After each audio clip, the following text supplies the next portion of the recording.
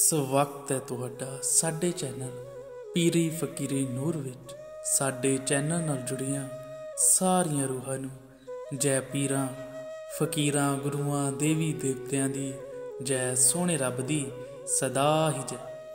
ਅੱਜ ਦੀ ਵੀਡੀਓ ਵਿੱਚ ਅਸੀਂ ਲੈ ਕੇ ਆਏ ਹਾਂ ਬਾਬਾ ਹਨੂਮਾਨ ਜੀ ਦਾ ਬਹੁਤ ਹੀ ਸ਼ਕਤੀਸ਼ਾਲੀ ਮੰਤਰ।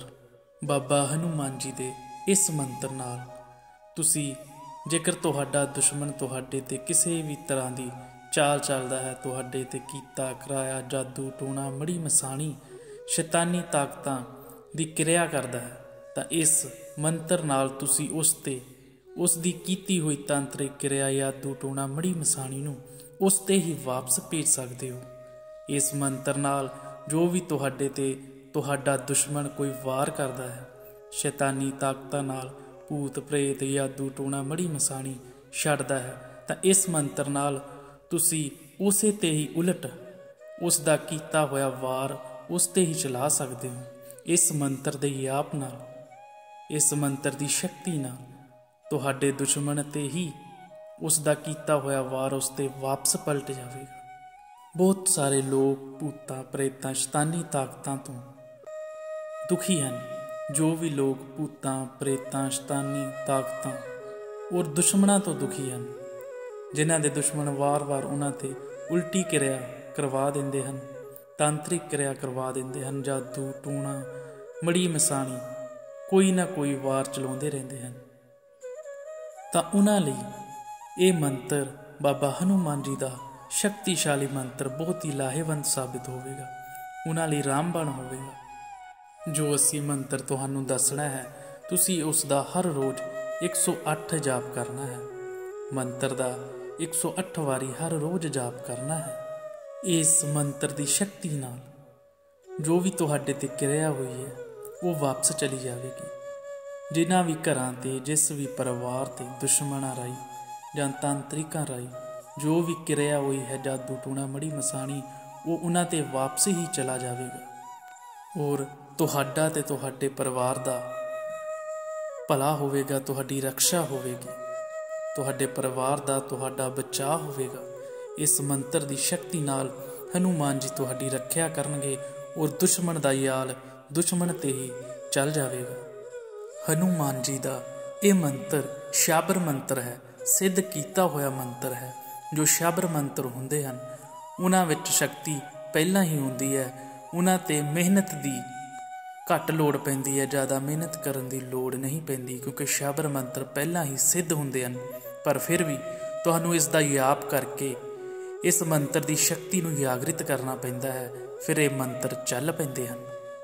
ਤੁਸੀਂ ਇਸ ਮੰਤਰ ਦਾ ਪਾਠ 41 ਦਿਨ ਕਰਨਾ ਹੈ। ਹਰ ਰੋਜ਼, ਸ਼ਾਮ ਨੂੰ ਜਾਂ ਰਾਤ ਨੂੰ 41 ਦਿਨ ਇਹਨਾਂ ਦਾ ਪਾਠ ਕਰਨਾ ਹੈ। ਬਾਬਾ ਹਨੂਮਾਨ ਜੀ ਦਾ ਜੋ ਮੰਤਰ ਪਾਠ ਅਸੀਂ ਤੁਹਾਨੂੰ ਦੱਸਣਾ ਹੈ ਪਹਿਲਾਂ ਤੁਸੀਂ ਇਸ ਦੀ ਵਿਧੀ, ਪਰਹੇਜ਼ ਔਰ ਪ੍ਰਯੋਗ, ਇਹ ਸੁਣ ਲਵੋ, ਫਿਰ ਤੁਹਾਨੂੰ ਅਸੀਂ ਮੰਤਰ ਦੱਸਦੇ ਹਾਂ। ਸਭ ਤੋਂ ਪਹਿਲਾਂ ਇਸ ਵਿੱਚ ਪਰਹੇਜ਼ ਕੀ ਕਰਨਾ ਹੈ? ਮੀਟ, ਆਂਡਾ, ਸ਼ਰਾਬ, ਇਹਨਾਂ ਚੀਜ਼ਾਂ ਤੋਂ ਦੂਰ ਰਹਿਣਾ ਹੈ, ਇਸ ਦਾ ਪਰਹੇਜ਼ ਕਰਨਾ ਹੈ। ਹੁਣ ਇਸ ਦੀ ਵਿਧੀ ਸੁਣੋ। ਸਭ ਤੋਂ ਪਹਿਲਾਂ ਨਹਾਉਣਾ ਹੈ। ਨਹਾ ਕੇ ਹੀ ਇਹ ਪਾਠ ਕਰਨਾ ਹੈ। ਨਹਾ ਕੇ ਸਾਫ਼ ਸੁਥਰੇ ਕੱਪੜੇ ਪਾ ਕੇ ਸਾਫ਼ ਜਗ੍ਹਾ ਤੇ ਬੈਠਣਾ ਹੈ, ਕੋਈ ਵਧੀਆ ਕਮਰਾ ਜਾਂ ਵਧੀਆ ਜਗ੍ਹਾ ਚੁਣ ਲਵੋ। ਜਿੱਧਰ ਤੁਹਾਨੂੰ ਕੋਈ ਸ਼ੋਰ ਸ਼ਰਾਬੇ ਵਾਲਾ ਨਾ ਹੋਵੇ, ਤੁਸੀਂ ਸ਼ਾਂਤ ਅਵਸਥਾ ਦੇ ਵਿੱਚ ਧਿਆਨ ਲਾ ਕੇ ਇਸ ਮੰਤਰ ਪਾਠ ਦਾ ਯਾਪ ਕਰ ਸਕੋ। ਆਪਣੇ ਕੋਲ ਅਗਰਬੱਤੀ ਜਾਂ ਧੂਫ ਤਕਾ ਲਓ ਔਰ ਇੱਕ ਪਾਣੀ ਦਾ ਗਲਾਸ ਭਰ ਕੇ, ਕਿਸੇ ਵੀ ਭਾਂਡੇ ਵਿੱਚ ਪਾਣੀ ਭਰ ਕੇ ਯਲ ਭਰ ਕੇ ਆਪਣੇ ਕੋਲ ਰੱਖ ਲਵੋ ਔਰ ਜਾਪ ਕਰਨ ਸਮੇਂ ਜਦੋਂ ਪਾਠ ਕਰਨਾ ਹੈ, ਮੰਤਰ ਜਾਪ ਕਰਨਾ ਹੈ, ਤਾਂ ਹਰ ਮੰਗਲਵਾਰ ਦੋ ਲੱਡੂ ਆਪਣੇ ਕੋਲ ਰੱਖਣੇ ਹਨ। ਦੋ ਲੱਡੂਆਂ ਦਾ ਭੋਗ ਪ੍ਰਸ਼ਾਦ ਬਾਬਾ ਹਨੂਮਾਨ ਜੀ ਨੂੰ ਲਾਉਣਾ ਹੈ। 41 ਦਿਨ ਦੇ ਅੰਦਰ ਜਿੰਨੇ ਵੀ ਮੰਗਲਵਾਰ ਹੋਣਗੇ, ਉਸ ਮੰਗਲਵਾਰ ਨੂੰ ਤੁਸੀਂ ਦੋ ਲੱਡੂਆਂ ਦਾ ਭੋਗ ਬਾਬਾ ਹਨੂਮਾਨ ਜੀ ਨੂੰ ਲਾਉਣਾ ਹੈ। ਤੁਸੀਂ ਜਦੋਂ ਪਾਠ ਜਾਪ ਕਰਨਾ ਹੈ, ਆਪਣੇ ਕੋਲ ਦੋ ਲੱਡੂ ਰੱਖ ਲੈਣੇ ਹਨ ਮੰਗਲਵਾਰ ਵਾਲੇ ਦਿਨ। ਔਰ ਹਨੂਮਾਨ ਜੀ ਨੂੰ ਯਾਦ ਕਰਕੇ ਉਹਨਾਂ ਦਾ ਭੋਗ ਪ੍ਰਸਾਦ ਉਹਨਾਂ ਨੂੰ ਦੇਣਾ ਹੈ। ਪਾਠ ਸ਼ੁਰੂ ਕਰਨ ਤੋਂ ਪਹਿਲਾਂ, ਇਹ ਮੰਤਰ ਜਾਪ ਸ਼ੁਰੂ ਕਰਨ ਤੋਂ ਪਹਿਲਾਂ ਤੁਸੀਂ ਕਿਸੇ ਵੀ ਹਨੂਮਾਨ ਜੀ ਦੇ ਮੰਦਿਰ ਵਿੱਚ ਜਾਣਾ ਹੈ। ਉੱਥੇ ਅਰਦਾਸ ਕਰਨੀ ਹੈ ਕਿ ਬਾਬਾ ਜੀ, ਅਸੀਂ ਤੁਹਾਡਾ ਮੰਤਰ ਪਾਠ ਜਾਪ ਕਰਨ ਲੱਗੇ ਹਾਂ, ਸਿੱਧ ਕਰਨ ਲੱਗੇ ਹਾਂ। ਸਾਡੇ ਅੰਗ ਸੰਗ ਸਹਾਈ ਹੋਣਾ। ਔਰ ਤੁਸੀਂ ਹਰ ਮੰਗਲਵਾਰ ਹਨੂਮਾਨ ਜੀ ਦੇ ਮੰਦਿਰ ਵਿੱਚ ਜਾਣਾ ਹੈ। ਉੱਥੇ ਵੀ ਇਸ ਪਾਠ ਨੂੰ, ਜਿਸ ਨੂੰ ਸਿੱਧ ਕਰਨਾ ਹੈ, ਪਾਠ ਤੁਸੀਂ ਪੰਜ ਵਾਰੀ ਪੜ੍ਹ ਕੇ ਹਨੂਮਾਨ ਜੀ ਨੂੰ ਦੋ ਲੱਡੂ ਅਰਪਿਤ ਕਰਨੇ ਹਨ, ਦੋ ਲੱਡੂਆਂ ਦਾ ਭੋਗ ਲਵਾਉਣਾ ਹੈ ਹਨੂਮਾਨ ਜੀ ਨੂੰ। ਔਰ ਉੱਥੇ ਵੀ ਅਰਦਾਸ ਕਰਨੀ ਹੈ ਕਿ ਜੋ ਅਸੀਂ ਬਾਬਾ ਜੀ ਜੋ ਮੰਤਰ ਪਾਠ ਸਿੱਧ ਕਰਨ ਲੱਗੇ ਹਾਂ, ਉਹ ਪੂਰਾ ਪੂਰਾ ਕੰਮ ਕਰੇ। ਔਰ ਤੁਸੀਂ ਸਾਡੇ ਅੰਗ ਸੰਗ ਸਹਾਈ ਹੋ ਕੇ ਸਾਡੇ ਤੇ ਰਹਿਮਤਾਂ ਕਰੋ। 41 ਦਿਨ ਤੁਸੀਂ ਇਸ ਤਰ੍ਹਾਂ ਕਰਨਾ ਹੈ। ਔਰ 41 ਦਿਨਾਂ ਦੇ ਵਿੱਚ ਜੋ ਵੀ, ਜਿੰਨੇ ਵੀ ਮੰਗਲਵਾਰ ਹੋਣਗੇ, ਤੁਸੀਂ ਉਸ ਦਿਨ ਹੀ ਹਨੂਮਾਨ ਜੀ ਨੂੰ ਦੋ ਲੱਡੂਆਂ ਦਾ ਭੋਗ ਲਾਉਣਾ ਹੈ।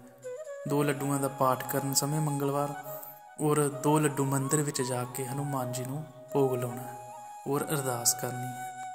ਜਦੋਂ 41 ਦਿਨ ਹੋ ਜਾਣਗੇ, ਤਾਂ ਇਹ ਮੰਤਰ ਪੂਰੀ ਤਰ੍ਹਾਂ ਆਪਣੀ ਸ਼ਕਤੀ ਦਿਖਾਉਣ ਲੱਗ ਜਾਵੇਗਾ, ਕੰਮ ਕਰਨ ਲੱਗ ਜਾਵੇਗਾ। ਫਿਰ ਤੁਸੀਂ ਆਪਣਾ, ਆਪਣੇ ਘਰ ਪਰਿਵਾਰ ਦਾ ਭਲਾ ਕਰ ਸਕਦੇ ਹੋ ਇਸ ਮੰਤਰ ਨਾਲ। ਬਾਬਾ ਹਨੂਮਾਨ ਜੀ ਦੇ ਇਸ ਮੰਤਰ ਤੋਂ ਕਈ ਵਿਧੀਆਂ, ਕਈ ਤਰੀਕਿਆਂ ਨਾਲ ਕੰਮ ਲਿਆ ਜਾਂਦਾ ਹੈ ਔਰ ਜੋ ਸਭ ਤੋਂ ਜ਼ਿਆਦਾ ਪ੍ਰਚਲਿਤ ਹੈ, ਜੋ ਪੁਰਾਣੇ ਸਾਧੂ ਸੰਤ ਵੀ ਜਿਸ ਤਰੀਕੇ ਨਾਲ ਇਸ ਮੰਤਰ ਤੋਂ ਕੰਮ ਲੈਂਦੇ ਸਨ, ਜ਼ਿਆਦਾ ਜ਼ਿਆਦਾ ਜਿੰਨੇ ਵੀ ਸਾਧੂ ਸਨ ਜੋ ਪੁਰਾਣੇ ਸਨ, ਉਹ ਇਸ ਮੰਤਰ ਨੂੰ ਲੋਕਾਂ ਨੂੰ ਠੀਕ ਕਰਨ ਲਈ ਜੋ ਤਰੀਕਾ ਵਰਤਦੇ ਸਨ ਉਹ ਅਸੀਂ ਤੁਹਾਨੂੰ ਦੱਸਣ ਲੱਗੇ ਹਾਂ, ਜੋ ਤੁਸੀਂ ਆਪਣੇ ਘਰ, ਪਰਿਵਾਰ ਵਿੱਚ ਵਰਤ ਸਕਦੇ ਹੋ। ਤੁਸੀਂ ਥੋੜੀ ਜੀ ਸੇਤੀ ਸਰੋਂ, ਜਿਸ ਨੂੰ ਪੀਲੀ ਸਰੋਂ ਜਾਂ ਰਾਈ ਵੀ ਕਹਿੰਦੇ ਹਨ, ਉਹ ਲੈ ਲੈਣੀ ਹੈ। ਥੋੜੀ ਸੀ ਰਾਈ, ਸਰਸੋਂ, ਪੀਲੀ ਸਰੋਂ ਲੈ ਲੈਣੀ ਹੈ। ਉਸ ਵਿੱਚ ਥੋੜਾ ਜਿਹਾ ਨਮਕ ਮਿਲਾ ਲੈਣਾ ਹੈ। ਔਰ ਤੁਸੀਂ ਜਿਸ ਵੀ ਰੋਗੀ ਦਾ ਤੁਸੀਂ ਇਲਾਜ ਕਰਨਾ ਹੈ ਆਪਣੇ ਘਰ, ਪਰਿਵਾਰ ਵਿੱਚ, ਉਸ ਨੂੰ ਕੋਲ ਖੜਾ ਕਰ ਲੈਣਾ ਹੈ। ਔਰ ਜੋ ਸਰੋਂ ਔਰ ਨਮਕ ਮਿਲਾਇਆ ਹੈ ਉਸ ਨੂੰ ਹੱਥ ਵਿੱਚ ਲੈ ਕੇ। ਸੱਤ ਵਾਰੀ ਉਸ ਤੋਂ ਰੋਗੀ ਤੋਂ ਵਾਰ ਕੇ, ਜੋ ਵੀ ਕੀਤੇ ਕਰਾਏ ਜਾਦੂ ਟੂਣੇ ਤੋਂ ਪਰੇਸ਼ਾਨ ਹੈ ਤੁਹਾਡੇ ਪਰਿਵਾਰ ਵਿੱਚ, ਉਸ ਤੋਂ ਸੱਤ ਵਾਰੀ, ਜਿਸ ਤਰ੍ਹਾਂ ਘੜੀ ਘੁੰਮਦੀ ਹੈ, ਉਸ ਦਿਸ਼ਾ ਵਿੱਚ ਸੱਤ ਵਾਰੀ ਘੁਮਾਉਣਾ ਹੈ ਔਰ ਇਸ ਦਾ ਉਤਾਰਾ ਕਰਕੇ ਸੱਤ ਵਾਰੀ ਵਾਰ ਕੇ ਇਸ ਨੂੰ ਅੱਗ ਦੇ ਵਿੱਚ ਸਿੱਟ ਦੇਣਾ ਹੈ। ਔਰ ਰੋਗੀ ਦੇ ਅੰਦਰ ਜੋ ਵੀ ਭੂਤ, ਪ੍ਰੇਤ, ਜਾਦੂ, ਟੂਣਾ ਹੈ, ਉਹ ਪਿੱਛੇ ਹੋ ਜਾਵੇਗਾ ਰੋਗੀ ਠੀਕ ਹੋ ਜਾਵੇਗਾ। ਜਿਸ ਦੀ ਵੀ ਉਹ ਕੀਤੀ ਹੋਈ ਚਾਲ ਹੈ, ਵਾਪਸ ਉਸ ਤੇ ਹੀ ਚੱਲ ਜਾਵੇਗੀ। ਔਰ ਤੁਸੀਂ ਮੰਤਰ ਦਾ ਯਾਪ ਕਰਦੇ ਰਹਿਣਾ ਹੈ। ਜਦੋਂ ਇਹ ਘਰ ਪਰਿਵਾਰ ਦੇ ਵਿੱਚ ਤੁਸੀਂ ਇਹ ਕੰਮ ਕਰਨਾ ਹੈ, ਮੰਤਰ ਦਾ ਯਾਪ ਕਰੀ ਜਾਣਾ ਹੈ। ਮੰਤਰ ਦਾ ਯਾਪ ਕਰਦੇ ਕਰਦੇ ਹੀ ਇਹ ਕੰਮ ਕਰਨਾ ਹੈ। ਔਰ ਆਪਣਾ ਆਪਣੇ ਪਰਿਵਾਰ ਦਾ ਤੁਸੀਂ ਭਲਾ ਕਰ ਸਕਦੇ ਹੋ। ਤੁਸੀਂ ਇਸ ਵਿਧੀ ਨੂੰ ਜਾਂ ਇਸ ਮੰਤਰ ਨੂੰ ਕਿਸੇ ਹੋਰ ਲਈ ਨਹੀਂ ਵਰਤਣਾ। ਆਪਣਾ ਔਰ ਆਪਣੇ ਪਰਿਵਾਰ ਲਈ। ਤੁਸੀਂ ਆਪਣਾ ਆਪਣੇ ਪਰਿਵਾਰ ਦਾ ਭਲਾ ਕਰ ਸਕਦੇ ਹੋ। ਜੋ ਦੂਸਰਿਆਂ ਦਾ ਭਲਾ ਕਰਨਾ ਉਹ ਗੱਦੀਆਂ ਵਾਲਿਆਂ ਦਾ ਕੰਮ ਹੁੰਦਾ ਹੈ।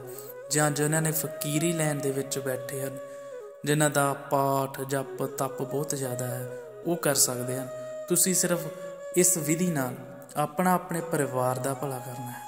ਇਸ ਮੰਤਰ ਤੋਂ ਤੁਸੀਂ ਸੇਤੀ ਸਰੋਂ ਨੂੰ ਵੀ ਸਿੱਧ ਕਰ ਸਕਦੇ ਹੋ, ਲੈਚੀਆਂ ਬਣਾ ਸਕਦੇ ਹੋ, ਯਲ ਬਣਾ ਸਕਦੇ ਹੋ। ਉਸ ਨੂੰ ਪੀ ਸਕਦੇ ਹੋ, ਘਰ ਵਿੱਚ ਛਿੱਟਾ ਦੇ ਸਕਦੇ ਹੋ, ਵਰਤ ਸਕਦੇ ਹੋ। ਜਦੋਂ ਵੀ ਜਲ ਬਣਾਉਣਾ ਹੈ, ਸੇਤੀ ਸਰੋਂ ਤੇ ਪੜਨਾ ਹੈ ਜਾਂ ਕਿਸੇ ਵੀ ਚੀਜ਼ ਨੂੰ ਸਿੱਧ ਕਰਨਾ ਹੈ, ਜੋ ਚੀਜ਼ ਵਰਤਣ ਵਾਲੀ ਹੈ, ਜਿਸ ਨਾਲ ਨਕਾਰਾਤਮਕ ਸ਼ਕਤੀਆਂ ਦੌੜਦੀਆਂ ਹਨ, ਭੱਜਦੀਆਂ ਹਨ ਘਰ ਦੇ ਵਿੱਚ, ਤੁਸੀਂ ਇਸ ਮੰਤਰ ਨੂੰ 41 ਵਾਰੀ ਪੜਨਾ ਹੈ ਉਸ ਚੀਜ਼ ਤੇ। ਸੇਤੀ ਸਰੋਂ ਤੇ ਪੜ ਕੇ ਘਰ ਦੇ ਵਿੱਚ ਛਿੱਟਾ ਦੇ ਸਕਦੇ ਹੋ, ਹਰ ਰੋਜ਼ ਤੁਸੀਂ ਯੱਲ ਬਣਾ ਸਕਦੇ ਹੋ ਉਸ ਨੂੰ ਪੀ ਸਕਦੇ ਹੋ, ਘਰ ਵਿੱਚ ਛਿੱਟਾ ਵੀ ਦੇ ਸਕਦੇ ਹੋ ਇਸ ਯੱਲ ਦਾ 41 ਵਾਰੀ ਯੱਲ ਤੇ ਇਸ ਮੰਤਰ ਨੂੰ ਪੜ੍ਹ ਕੇ। ਔਰ ਯੱਲ ਬਣਾਉਣ ਦੀ ਜੋ ਵੀਡੀਓ ਹੈ, ਉਹ ਅਸੀਂ ਪਹਿਲਾਂ ਵੀ ਪਾਈ ਹੋਈ ਹੈ, ਤੁਸੀਂ ਉਸ ਨੂੰ ਦੇਖ ਸਕਦੇ ਹੋ। ਹੁਣ ਤੁਹਾਨੂੰ ਜੋ ਮੰਤਰ ਹੈ, ਸਕਰੀਨ ਤੇ ਵੀ ਲਿਖਿਆ ਹੋਇਆ ਮਿਲ ਜਾਵੇਗਾ। ਬਾਬਾ ਹਨੂਮਾਨ ਜੀ ਦਾ ਮੰਤਰ ਇਸ ਤਰ੍ਹਾਂ ਹੈ। ਓਮ ਇੱਕ ਠੋ ਸਰਸੋ 16 ਰਾਈ।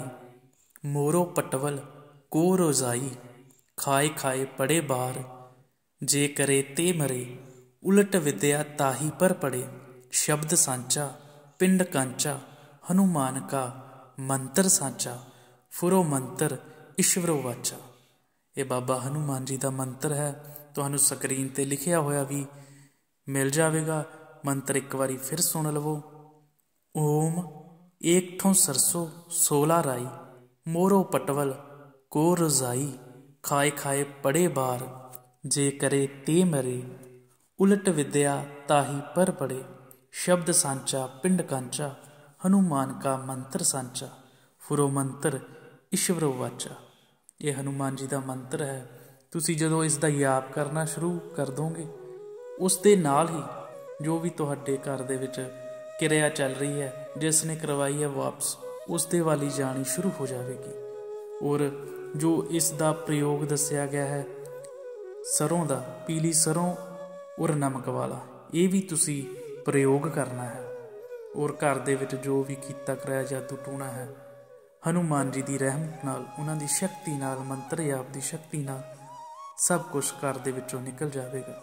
ਜਿਸ ਨੇ ਕਰਾਇਆ ਵਿਦਿਆ ਉਲਟੀ ਉਸ ਤੇ ਹੀ ਚੱਲ ਜਾਵੇਗੀ। ਔਰ ਤੁਹਾਡਾ, ਤੁਹਾਡੇ ਘਰ ਪਰਿਵਾਰ ਦਾ ਬਚਾਅ ਹੋਵੇਗਾ। ਸੋ ਮਿਲਾਂਗੇ ਦੋਸਤੋ ਅਗਲੀ ਵੀਡੀਓ ਵਿੱਚ ਆਪ ਸਭ ਨੂੰ ਸਲਾਮ।